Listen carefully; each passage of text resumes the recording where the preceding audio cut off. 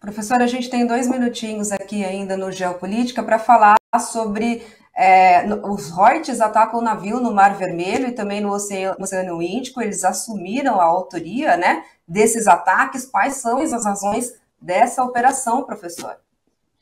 Eu vou falar rápido, mas vamos voltar a esse tema, né?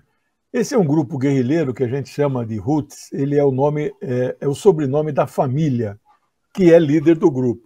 O nome do partido deles, eles são um partido político que tem um braço militar.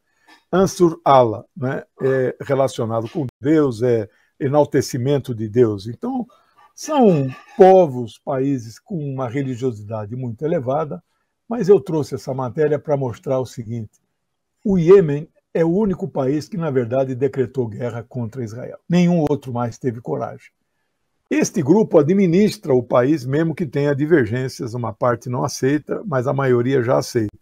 E eles estão, estão dominando o Mar Vermelho e a, os Estados Unidos e a Inglaterra, com todo o seu poderio militar, não conseguem desbloquear o Mar Vermelho e não conseguem proteger os já poucos navios que têm coragem de trafegar por ali, porque tem que subir e, e passar para usar o canal de Suez, tem que usar o Mar Vermelho. E aí, essa notícia é que eles abateram mais um navio, né? o que faz os seguros aumentarem exponencialmente. E se você não passa por ali, você tem que dar a volta pelo Atlântico e andar 7 mil quilômetros a mais para chegar no Mediterrâneo. É isso por hoje.